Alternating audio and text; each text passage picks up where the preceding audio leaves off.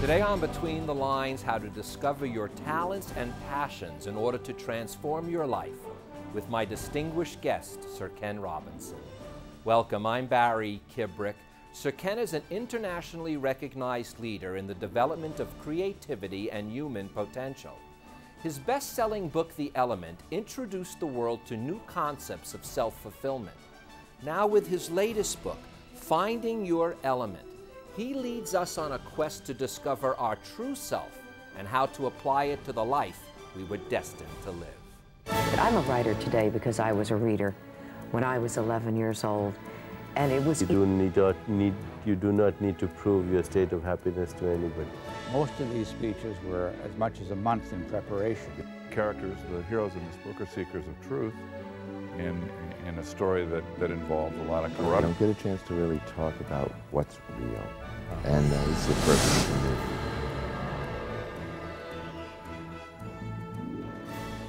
Sir Ken, it is such a pleasure to have you back on Between the Lines. Welcome to the show. It's a real pleasure to be back. Thank you, Barry. Uh, this book here is Finding Your Element, and it is all about discovering your natural aptitudes and combining it with your personal passions so that you can literally lead a life that you're destined to lead. Mm-hmm. Yeah, I mean, I, I published a book, the, the precursor to this book, uh, a few years ago. It was called The Element How Finding Your Passion Changes Everything. And it's based on exactly that. You know, there, I know an awful lot of people uh, who don't really believe they have any special talents. Uh, they don't really much enjoy the lives they lead. They sort of get through the week and wait for the weekend. Uh, they, I remember saying it there that they don't enjoy their lives, they endure them. But I also meet people who absolutely love what they do and couldn't imagine doing anything else. If you said to them, why don't you change track? and try something different for a while, they wouldn't know what you meant. They'd say, you know, but you know, this isn't what I do. This is who I am. This is me. This is my most authentic self. And I thought a lot about that. I mean, the, the common language you use is, for that is that somebody's in their element. And so we took this idea and said, well, what is it? And it's, it's those two things. It's where talent meets passion. And the book had a great response, but then people start to say, well, how do I find it if I haven't found it? And that's what led us to this, this sequel. And that's what's in here. This is the, the means to finding your element. And it has two things in it. It has exercises, literally, that, and I, when I say exercises, uh, you know, uh, things that you can put on paper, work out, and do. And it also has stories of people who have found their element. And I told you before the show, I said, I'm going to throw a little curve at you, and I'm going to do it right at the top here, okay, Sir Ken? When you were talking in this book about the element, mm. you mentioned originally that you were thinking of the title being called The Epiphany mm-hmm. because it's that same kind of sense one gets when you feel that you're truly in your element. It feels like an epiphany. Yeah.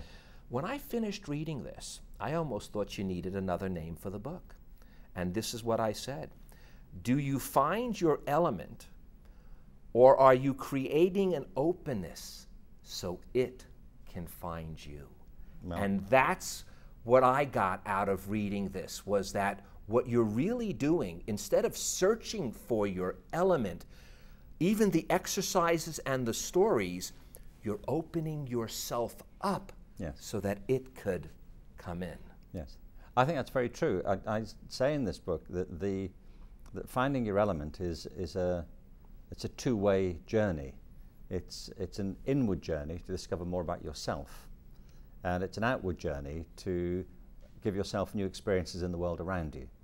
And, and it, it's the balance between the two. In fact, I also say there that, that journey isn't quite the right word. A better word is quest, which I think speaks to what you're saying, which is, I mean, you can take a journey and know exactly where you're going to end up. You know, you can decide I'm going to go from here to San Francisco. That's a journey. I know where it is.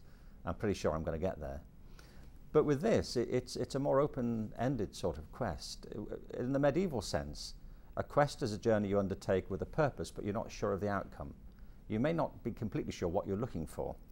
Uh, you travel purposefully and hopefully, and uh, you aim to discover something along the way, but you may not be sure at the beginning what it is. And I think this is like that, that uh, you can set out to find your element without being quite sure what it is. And sometimes, as you say, it finds you. And who better than a knight to know about a quest? Well, I suppose that's also. but uh, there was an interesting thing you brought out about passion. And, and I use this often too, and you brought them both out, so I want to discuss it. There is the element of passion, which, like passion of the Christ, means to struggle. And then there's the element of passion, as it's used here, to find that thing that you love, that is uh, innate to your soul. In fact, I think part of the, the description you use, it, I want to read it exactly right, is to do something that feels so completely natural to you, that resonates so strongly with you, you feel that this is who you really are. And that's the kind of passion you're talking about. But yet, you can't help but know that, as you said with Quest, there is struggle mm-hmm. in order to do that. It is not a simple task, and it's not one that you do and then stop. It is one that you must continually reinforce. Yeah, that's absolutely right. You know, the, the, the idea of passion is very interesting. The, the word itself has changed meanings almost 180 degrees. I mean, its original classical meaning is suffering, as in the Passion of Christ. Uh, it's gone. It's come to mean over over time almost exact opposite. It means fulfillment and enjoyment and uh, and something that resonates deeply with your energies, something that fires you up uh, and fills you up. Um, and, and finding that point of intersection between aptitude, talent, and passion is, is what this is about.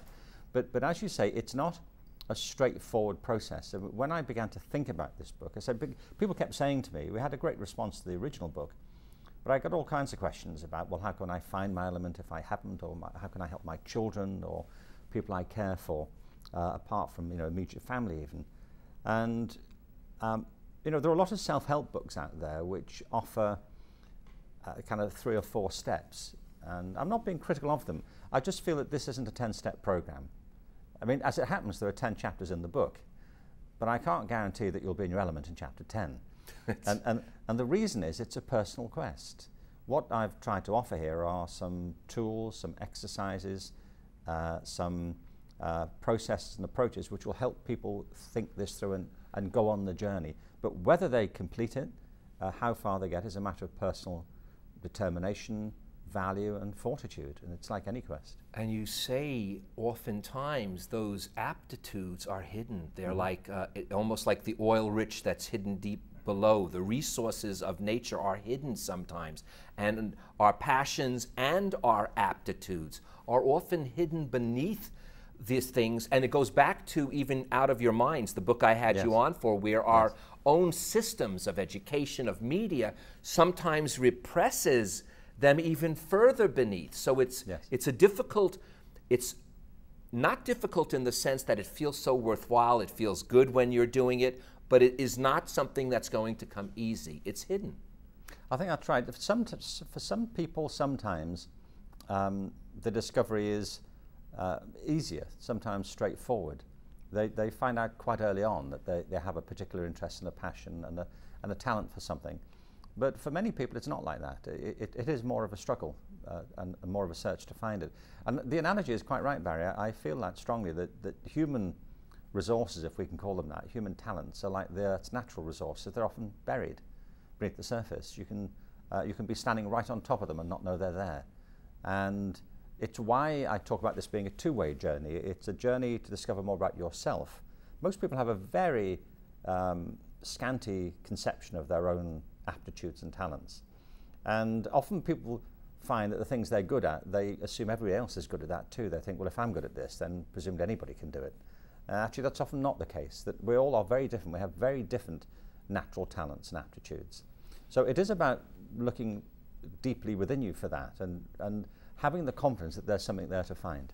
And by the way, it's not only for the creative person. You make it very clear here that a person in their element could easily be the sewer worker or the sanitation person, the, as well as it could be the artist, the musician, the teacher, the accountant, the factory worker. Their element may, may be what they, I love the line you use. It may be how they make their living, or as you said, how they become rich. That could happen. But what will definitely happen is you'll become enriched. Yes. And I think That's the real key to finding your element, whether it's being the, the doorman at, at a hotel, if that's what you love to do to serve, you're enriched by the experience. And that's what this is really about.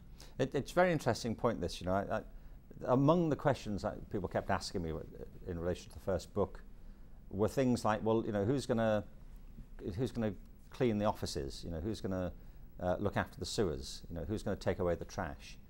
And there's an assumption built into that that everybody wants the same thing. And, and I, I, I, I have actually examples in the book of, of people who do those very jobs. I, I, I tweeted, I mean, since we last met, Barry, I have taken to tweeting.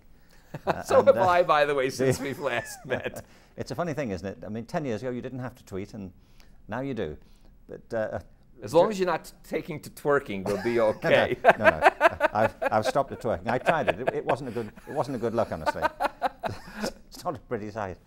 But I, I, I did that. I tweeted about that. I asked people if they could suggest jobs that other people love that they would hate. And it was amazing. We got hundreds of responses to it, and and some were really surprising. And people were saying things like, teaching. I couldn't bear to be a teacher. It would drive me mad. And of course, in the same flow of responses, we got people who teach for a living and couldn't think of doing anything else. Uh, people who couldn't bear to be lawyers, people who couldn't think of doing anything else but law. And then we got the normal things, you know, people saying, like a proctologist, I couldn't do that. Well, proctologists do do that, and, and they get very fulfilled by the work they do. Uh, and I had somebody tweet in saying they've worked their entire life uh, in the maintenance of sewer systems. And, and they absolutely love it. It's vital work it's fulfilling. We're all glad that people do it. And, and I actually gave an example of a lady in the book, a woman who has been an office cleaner for 30 years. She's raised a family, and it's just the part of the day she looks forward to most. She gets time on her own. Uh, it's the place where she can be herself. The building's empty, and she loves cleaning, loves getting straight, and loves the fulfillment that comes at the end of it. Well, I mean, I've taken for a while, I mean, you probably know I wear a brace on my leg, and so I've taken uh, latterly, because I travel a lot, uh, always have done, but I've finally given in to a family intervention. I now get in wheelchairs when I go through airports because it, otherwise I slow the whole airport down, you know, so this, this is in everybody's interest. But uh, uh, Latin, so I, you know, you get chatting to the people pushing the wheelchair. And it's very interesting to me how many of them uh, are just doing it to fill in, you know, they, it's not a job they particularly want, they're just doing it for some cash, they're probably college students or something. But a significant number do it because they love it. And they said, I've been doing this job now for 15 years. I can't wait to get here every day. And I said, why is that? And uh, I was talking to a guy the other day at LAX. He says, because I love to help people. Uh, I love to feel that I'm getting people off to a good start and I'm giving them the support they need. He said, I find it really rewarding. So um, the whole principle here is diversity and, uh, and recognizing that what fulfills you may not fulfill somebody else and, and vice versa. And it's finding that unique place in your own life that this is about. But isn't part of that also, though, isn't sometimes fear that steps in the way, almost a fear of discovering your element, mm-hmm. even though it's so worthwhile? I know that, and that, it's funny because the element would be at the front of the frontal lobe, but the fear is in the back of the lizard brain, and yet fear of discovery, even that can enrich you, is something that people have to struggle with. Yes. Well, that's exactly right. There are all sorts of obstacles to this, and it's why I say in the book that there's, you know, I'm not offering any guarantees that this is about your journey. You see, there are, there are several principles that run deeply through this. What, the first of them is that that every human life is unique, and I, I mean that literally. I'm one of seven children. I have five brothers and a sister. We're very similar, but we're all different. Uh, I have two children. They love each other. They have a lot in common, but they, in some respects, they couldn't be more different. In fact, I make make people a bet these days if they've got two children or more. I bet that they're completely different, and, and they are. And we're different because we all are. We're different uh, in terms of our cultural experiences, our own biological mix. Uh, I'm a lot like my father, but I'm a lot like my mother too. I'm not a clone of either of them. You know, I'm a kind of unique blend. We all are. That, that's the point. So discovering your own uniqueness is part of this. The second is that we create our own lives and we can recreate them. Every, every single resume is different. Nobody has ever had your life, no, nobody's had my life, or nobody's ever had the life of anybody watching this program. And the life you have is the one you've made. You've created it, and you can recreate it too. And the third big principle in the book is that life isn't linear. It's organic. The fact that it's organic, that you almost, as, as obvious as it would be, you never hear it that way. No, as they say, it's not over till it's over. And people often persuade themselves that life is linear.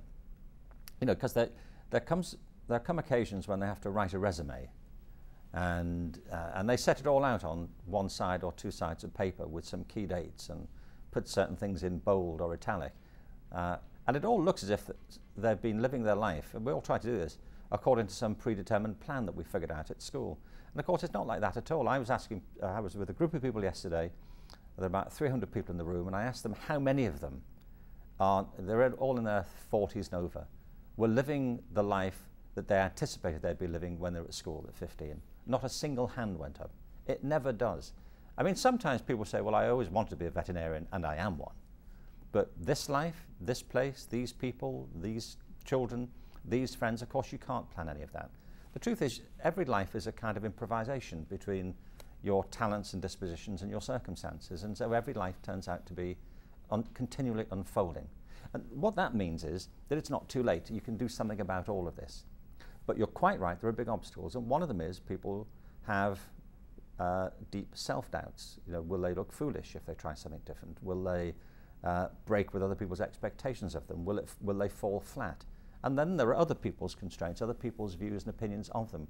So I'm, I'm not trying to make this sound like a fairy tale. I mean, I'm living in this world just as you are, and you know that you have to confront all kinds of things. So it's partly that we're trying to set out in the book as well. You also talk about energies, the physical and the spiritual. And again, the more you can endemic within you, make it viscerally one. Yeah. I know that sounds funny, but the physical and the spiritual become one, and the mental and the physical become one. It seems that you begin to open yourself up more to again that quest of the element that brings together your passions Yes. and your aptitudes. Well, th this idea of energy is very important. I mean, in the end, life is energy. That, that's kind of all it is. And you're right, I make a distinction in the book between physical and spiritual. And if you're in your element, uh, several things happen. One is that, uh, that you get energy from it. And I find this very interesting. You know, I sometimes look at other people and the things they do and wonder how they get through the day. I mean, I sometimes look at politicians you know, who dash around continuously, you know, from jumping on aeroplanes going to meetings. I do that, by the way, at the same time, but, you know, but, but I couldn't do what they do. And, and you think, you know, that would exhaust me. And yet they seem energized by it. That's literally what's happening. They're energized by it. Other people, uh, you, you, you, you know, they might be teaching 40 children all day long, and you might look at it and think, I couldn't do that. But they are energized. The difference I'm getting is, if you're in your element, you may be physically exhausted, but spiritually uplifted by it. If you do things you don't care for, you can be physically fine but down.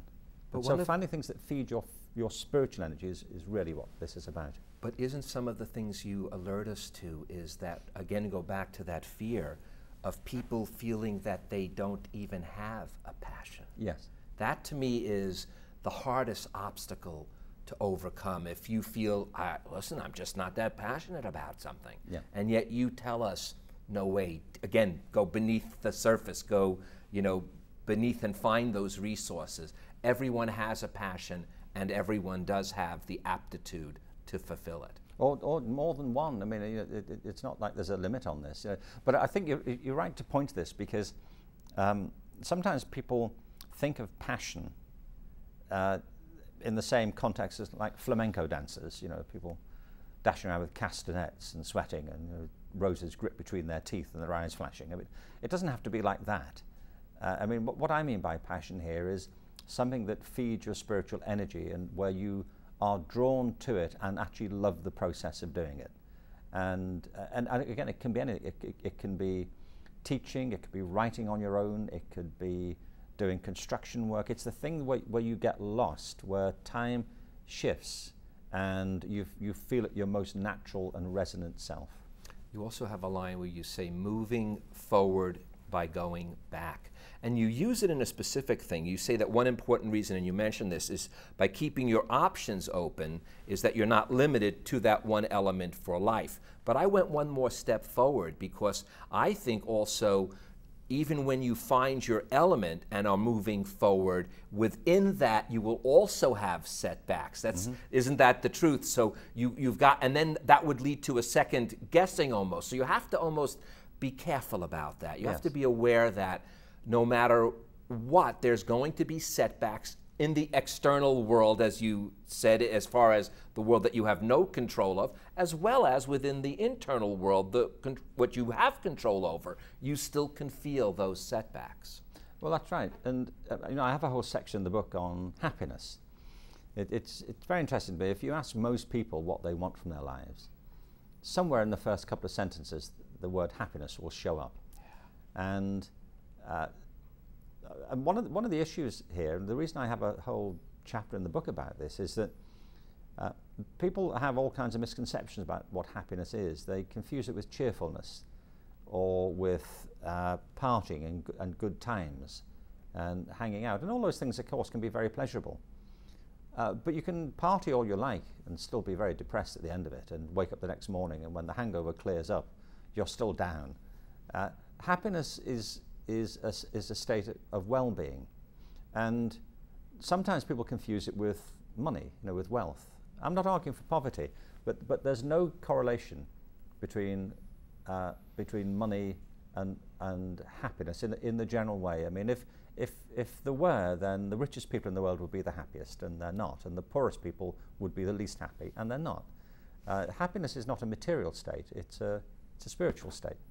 It's a state of well-being, and and it speaks to your point really that it's not a steady state. It's not continually rising. It's a it's a it's a, a fluid state. You can be up and down, and but, but if you're doing things you love and care for, if you're living a life that has purpose and meaning that you find fulfilling, then you're much more likely to be resilient to the knocks and the obstacles that you reach. You're, you're less likely to be put deeply down by them because you know that you're on the right sort of path. See, I, I'm guessing this. I mean, I, I asked you about this, but I, I imagine it to be true. You know that you're clearly in your element, doing what you do, and and you're very good at it, and you have a passion for it. And I'm sure time passes quickly when you're doing this. Uh, and I'm equally sure uh, is that is that you also suffer all kinds of frustrations and obstacles and so on in the interests of doing what you do. You know, scheduling and running a program and all the myriad things that go into making this bit of it possible. But you're still, I imagine, ima- it's a question really, fundamentally happy in what you're doing, despite all the frustrations it inevitably would bring to you. It is when I am able to see it that way. But just like all humans, I have to constantly reframe it. You're absolutely right. In fact, I this is my element. I didn't have to mm-hmm. find it. It and by the way, it did find me. I Yes. it, it, it was kind of a weird thing how, how it even occurred. What, what, But- what did occur? The, the, the show even the, the, the Yeah. thing that i'm doing it, it found me by accident almost. I, I the truth was i was looking for someone else to do this. I was a producer and they told me that they didn't have any money to hire anybody else. So i ended up all right i'll do it. And then it became a passion. So it wasn't my passion starting out. That's an in, that's another thing we could discuss a little bit. You don't uh, necessarily start out with your passion. Sometimes you have to do all sorts of things before it pops up. And as I go back to earlier, before it quickly finds you. Yes, that's right. And and it's, it's why uh, originally uh, we had this idea of calling the book Epiphany, the, the, the original book, The Element. But the reason we pulled away from that was because the Epiphany carries with it the idea of a sudden revelation. That can be the case. For some people, it is that. You, you suddenly come across them, you think, this is it. Other times, it's, it's more like falling in love over time with something, you know, that it, it, it kind of grows on you. But the, the, it seems to me one of the important points that comes out of your own experience is that, that, is that you have to be open to the possibility. I mean, you could have said, couldn't you, when this came up, this opportunity, you could have said, absolutely not. You know, I can't do that. No, I'm a producer. This, is, this is not me. I can't do it, or I won't do it. But something in you was open to the possibility And if you're open to the possibility of it, then you're much more likely to discover this thing. You know, K- Sir Ken, you said when you are in your element, the time flies, and our time has Already? flown. I know. I, I haven't even gone through half the things that are make the people read the book. It'll be perfect. But I want to end with these words of yours. Finding your element is about discovering what lies within you, and in doing so, transforming what lies before you. Sir Ken, from the bottom of my heart, thank you so much for helping all of us discover our element. Thank you, Barry. It's my pleasure. Uh, and thank you guys for joining us. Now, before Sir Ken leaves, I'd like to leave you with these words from Finding Your Element. All quests involve risks, and you can't anticipate them all. They involve opportunities too, and you can't foresee all of those either. You can only set a direction and take the first steps. You then need to stay open to risks and to the possibilities and be willing to respond to both. I'm Barry Kibrick. Between the risks and those opportunities, keep your mind open and you will find your element. Thank you so much, Sir Ken. My pleasure. Closed captioning for Between the Lines with Barry Kibrick is made possible by your generous contributions to KLCS Education Foundation. Thank you for your support. Please visit us at klcs.org/btl if you would like to contact Barry or watch an episode of our show online. And go to barrykibrickblogs.com to go further between the lines and read Barry's posts.